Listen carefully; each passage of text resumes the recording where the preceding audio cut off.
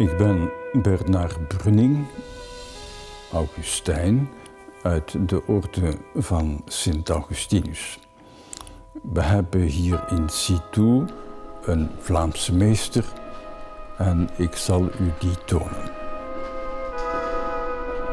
Contemplatie is vooral studie en inzicht proberen te verwerven.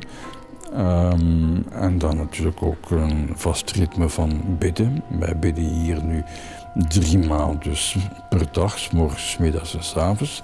We zitten hier al meer dan 700 jaar op dezelfde plek. Hè.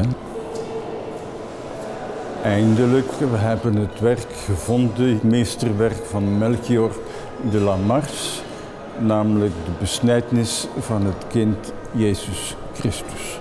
Jezus van Nazareth was een Jood hè? en hij had de hele Joodse traditie ook in zich. Hè? Besnijden is natuurlijk voor het Jodendom centraal. Hè? Ik zie dat de priester het mes in de hand houdt, hè? dus hij moet waarschijnlijk nog aan beginnen. Ja, dat was het verbondsteken voor hen op deze hele bijzondere plaats. Hè. Juist omdat daar ook uh, de geslachtsketen werd doorgegeven. Het was vroeger een feest in de liturgie. Hè. De 1 januari was de besnijdenis van Jezus. Hè. Lucas, tweede hoofdstuk, 21e vers. Nadat de acht dagen voorbij waren en men hem moest besnijden, ontving hij de naam Jezus zoals hij door de engel was genoemd voordat hij in de moederschoot werd ontvangen.